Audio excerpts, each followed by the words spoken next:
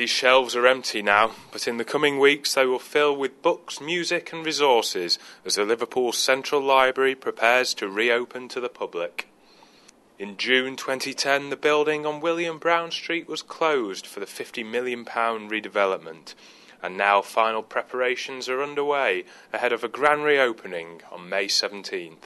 Grade 2 starred listed parts of the library have been restored to their former glory, while the revamped main atrium is one of the brightest and most architecturally fascinating indoor spaces in the city.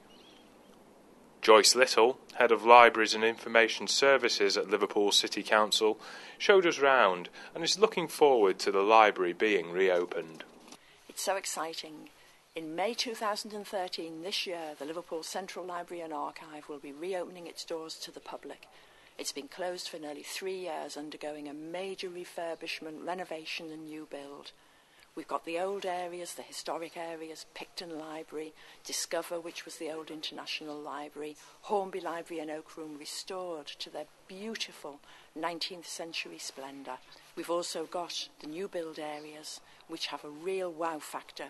We've got lots of books for people to borrow, lots of computers for people to use. We've got a game area for younger people, or those that enjoy playing computer games and listening to music. There's something for everyone in the new cent- Central Library.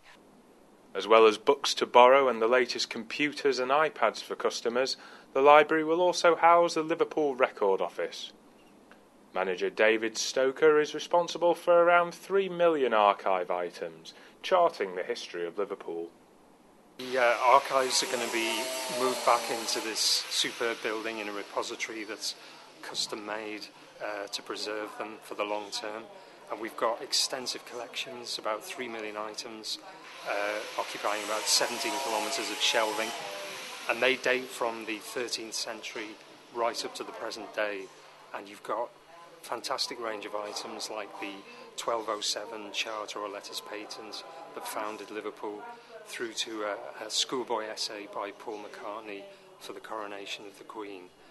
When Liverpool Central Library opens, it will be one of the most advanced libraries in the country, but it stands proud in a long tradition of offering a public space for learning and scholarship, meeting and sharing ideas.